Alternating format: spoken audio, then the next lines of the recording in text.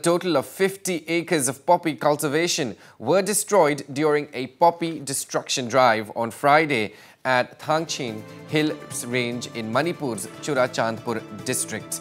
Now, the drive against illicit poppy cultivation was carried out by a joint team of Churachandpur District Police, Narcotic and Affairs Border, which is a unit under Manipur Police, forest officials and personnel from the 1st Indian Reserve Battalion.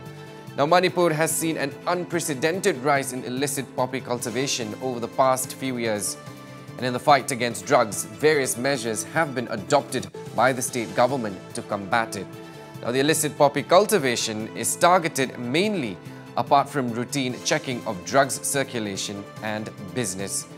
It may be mentioned here that poppy is massively planted in the hills of Henglep, Saikot and Singat subdivision of Churachandpur district.